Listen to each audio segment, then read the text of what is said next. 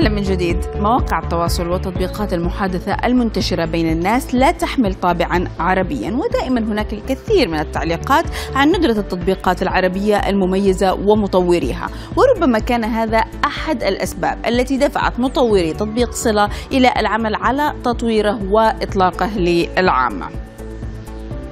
لتفاصيل أكثر عن التطبيق والخصوصية التي لطالما شغلت الناس على التطبيقات. تنضم إلينا من مدينة. الناصرة مديرة, مديرة التسويق في أب محل منى حداد. أهلا فيك معنا يا منى. يعني أنتم بتقولوا أنه هذا التطبيق عنده نكهة محلية عربية. إذا تشرحي لنا هذا الموضوع ماذا يعني وماذا يميز هذا التطبيق؟ أهلا فيك بداية. وفعلا كيف ما حكيتي التطبيق هو تطبيق تواصل اجتماعي وتطبيق مراسلة بنكهة عربية. واللي بيجعله عربي واللي بيميزه عن باقي التطبيقات هو المحتوى العربي الموجود فيه. مثال بسيط كان شهر رمضان الأخير. كان في تطبيق محتوى خاص بشهر رمضان ابتداء من ملصقات خاصة بشهر رمضان وبالمحتوى اللي خاص بشهر رمضان. خلفية أيضا لها علاقة بالرموز الرمضانية وتهاني وكثير رموز أخرى.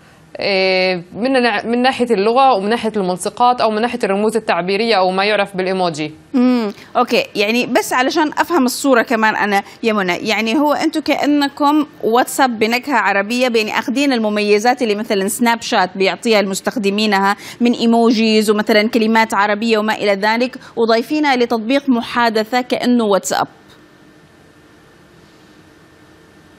بالضبط. Okay. طيب قد إيش عدد مستخدمينكم حاليا؟ التطبيق تم إطلاقه منذ بداية السنة لكن كان في نسخة بيتا. م. وتم إطلاقه في صيغة الأندرويد فقط. وحتى الآن وصل عدد التحميلات مليون وثمانمائة ألف واقترب من 2 مليون تحميل. وفي كثير أشخاص بيستخدموه من مختلف أنحاء الدول العربية. آه ما عندكم تركيز مثلا في دول عربية هو منتشر فيها أكثر من دول أخرى؟ في تركيز طبعا في انتشار للتطبيق أكثر بسبب الدعوات اللي بتتم لأنه الأصدقاء الأشخاص اللي بيحملوا التطبيق بيقوموا بدعوة أصدقائهم حتى يتواصلوا معهم. م. فعمليا أي شخص بنضم لتطبيق صلة بتنضم معه شلته اللي بتواصل معها وبتحدث معها.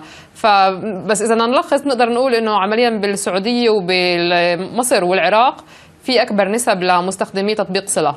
جميل ودائما في قلق على موضوع الخصوصية وأنه مثلا يسهل اختراقه يسهل الحصول على المعلومات الصور وما إلى ذلك إيش ضماناتكم؟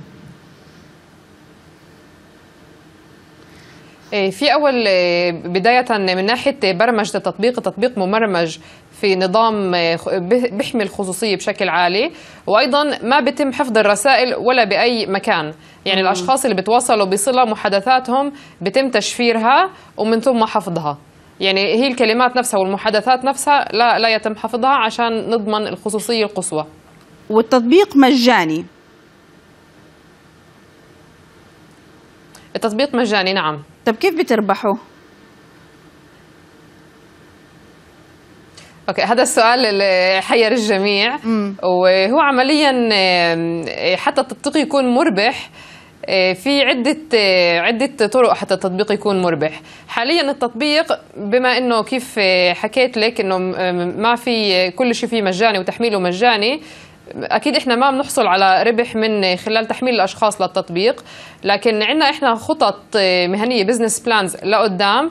عندما لما بصير عدد الأشخاص اللي بيستخدموا التطبيق أكثر اللي نقدر أكثر نطلع مصاري من التطبيق. معظم التطبيقات اليوم هي مجانية. نعم. لكن حتى التطبيق يكون مدر للمال ويكون فيه منه مصدر دخل إيه لازم يكون فيه كثير أشخاص اللي بيستخدموه. مثلا على سبيل المثال تطبيق انستغرام فقط في السنتين الأخرانيات أصبح مدر للأموال. فالهدف تبعنا حاليا هو مش إنه نلاقي طريقة فيها نحصد أموال من تطبيق صلة. هدفنا هو إنه إحنا نعمل تجربة للمستخدم اللي هي تجربة مثالية نعم. اللي الأشخاص يحبوا يستخدموا تطبيق صلة. جميل. ويحبوا يستخدموه وقت طويل وينشروه مع أصدقائهم. نعم اذا الانتشار. نحن بنشكرك على إطلاعنا على هذا التطبيق. كانت معنا من مدينة الناصرة مديرة التسويق في أب محل منى حداد.